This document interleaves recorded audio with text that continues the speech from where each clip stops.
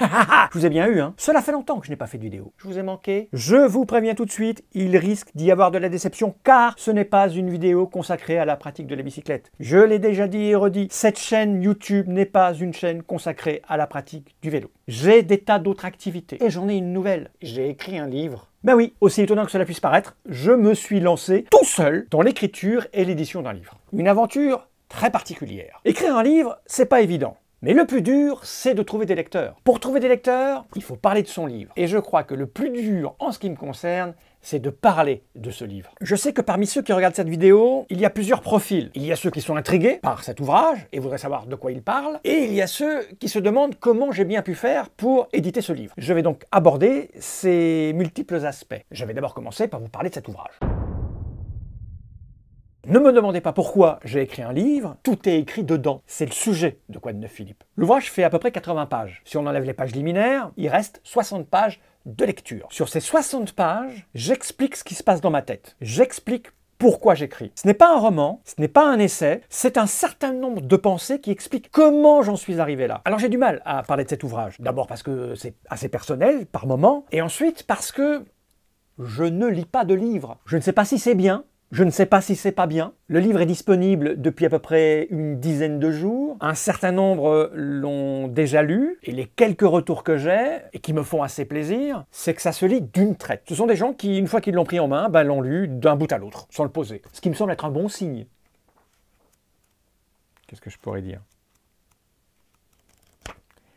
Et là, je suis bloqué. Là, j'arrive au bout de ce que je peux raconter parce que je, ne sais pas comment expliquer ce qui se passe dans ce bouquin. Euh, le truc, c'est qu'il fait moins de 10 euros. Il est à 9,99 euros. Le mieux, c'est que ben, vous le commandiez, vous le lisiez et puis vous, vous ferez une idée. Hein, 10 euros, c'est pas, pas très cher finalement. Si vous le commandez et que c'est mauvais, ben, ça, vous aura coûté que 10 euros. Et puis si c'est pas mal, si ça vous apprend des choses, si ça vous fait réfléchir, ben, ça n'aura coûté que 10 euros. Quel que soit le résultat, vous aurez participé à cette expérience littéraire, vous aurez contribué de manière positive ou négative à cette nouvelle expérimentation de ma part. Je vous l'ai dit, très difficile à cataloguer. Je pense même que parmi les premiers lecteurs, il y a des gens qui n'ont pas bien compris euh, l'intérêt de la chose.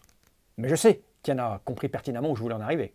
Après tout, peut-être que c'est un livre moyen, ni bon, ni mauvais. Est-ce qu'on a le droit de faire des livres moyens? Peut-être, à vous de me le dire. Avec ce livre, je suis dans un vrai paradoxe. L'expérience de cet ouvrage, c'est de se demander si un non-lecteur devenir un non-écrivain pour autre non-lecteur. Je sais pas si c'est clair, je sais, c'est souvent le bordel dans ma tête. Je crois que c'est simple à lire. D'ailleurs, le correcteur, dans le premier échange qu'on a eu, m'a dit ça, ça va, c'est assez fluide. Et je crois que le fait que les gens le lisent d'une traite, ça prend une heure et demie à peu près, une heure, une heure et demie en fonction de votre vitesse de lecture, et la preuve que c'est facile à lire. En tout cas, c'était mon intention.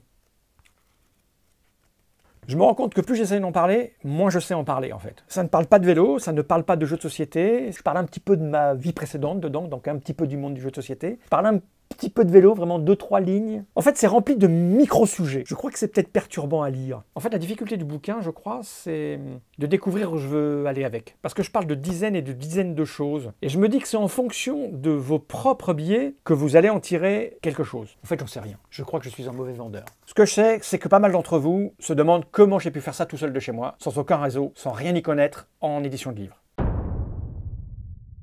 Il y a trois moyens actuellement de publier un livre. On envoie son manuscrit à un éditeur, vous passez devant une commission de lecture, vous êtes validé ou rejeté. Si vous êtes validé, il va potentiellement y avoir des corrections, il va y avoir des relectures, on va réajuster tout ça, puis vous allez être imprimé et distribué euh, dans les librairies. C'est la version la plus courante, et c'est aussi la version la plus tranquille pour un auteur. Vous gagnez moins, mais vous êtes pris en charge totalement de A jusqu'à Z. Les maisons d'édition, il y en a des grandes et il y en a des petites. C'est une vraie industrie. Une autre des solutions consiste à éditer à compte d'auteur. En gros, vous allez voir un éditeur spécialisé dans l'édition à compte d'auteur, vous lui confiez votre manuscrit et de l'argent. Cet argent va permettre de payer tous les métiers annexes inhérents à l'édition. Ils vont corriger les fautes d'orthographe, ils vont même vous aider à la rédaction, voir si le livre est équilibré, vous donner des conseils. Ils vont même peut-être concevoir la couverture, la quatrième de couverture. Ils vont trouver un imprimeur et vous allez vous retrouver avec un certain nombre d'exemplaires que vous allez stocker chez vous et vous débrouiller pour le distribuer. J'imagine que même avec une somme un peu plus élevée, ils doivent euh, s'occuper de la distribution. Et puis, il y a une nouvelle méthode, celle que j'ai utilisée. Celle consistant à proposer à l'impression à la demande votre ouvrage. En gros, vous allez sur un site internet, vous déposez votre manuscrit et vous le mettez à la vente. Chaque fois qu'un lecteur voudra se le procurer,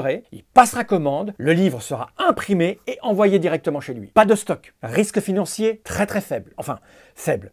Si vous prenez vous-même en charge tous les métiers de l'édition. Puisque pour faire un livre, il ne suffit pas simplement d'écrire. Il faut aussi faire la mise en page, il faut faire la couverture, il faut s'occuper d'envoyer les fichiers et il faut faire du marketing. Et c'est pas le plus simple. En gros, pour Quoi neuf Philippe, je me suis occupé de 99,90% de tout ce qu'il y avait à faire. La seule chose dont je ne me suis pas occupé, c'est la correction. Pour corriger l'orthographe et la grammaire, j'ai fait appel à un professionnel. Pour éditer Quoi neuf Philippe, j'ai choisi la plateforme KDP Amazon. Il y a plein d'autres plateformes, mais il m'a semblé, après avoir tout étudié, que celle d'Amazon était la plus pratique et la plus performante. Je me suis donc mis à écrire ce livre, je l'ai envoyé à un correcteur, un professionnel, un être humain, qui l'a relu et qui m'a envoyé la correction, j'ai demandé le minimum du minimum, c'est-à-dire uniquement la correction orthographique. Je n'ai pas demandé de correction de style, ni d'évaluation de la teneur de l'ouvrage. Sur 15 000 mots que fait l'ouvrage, il m'a renvoyé une cinquantaine d'erreurs. On fait des erreurs, même en se relisant 100 fois. Là où j'étais content, c'est que le correcteur n'a trouvé qu'une cinquantaine de fautes, et parmi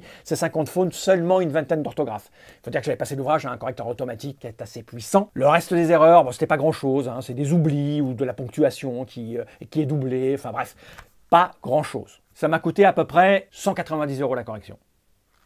Il n'est pas épais. Une correction se paye au nombre de mots. Tout le reste, je l'ai pris en charge. J'ai fait la couverture, j'ai fait la mise en page, j'ai acheté les ISBN. L'ISBN, c'est le numéro de votre livre, l'espèce de code barre pour qu'il soit classé, rangé, facilement retrouvé. Et surtout, c'est important quand on la voit à la BNF, la Bibliothèque nationale de France. Mon livre est à la BNF.